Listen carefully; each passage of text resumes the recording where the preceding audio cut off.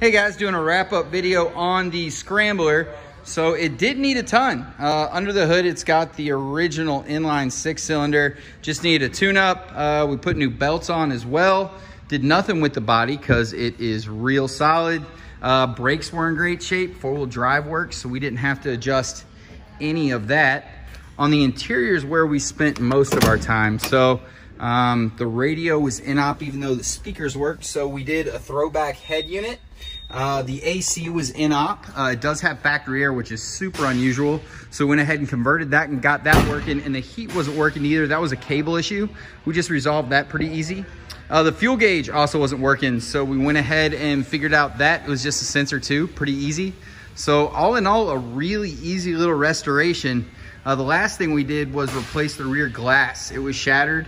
Um, but that was it.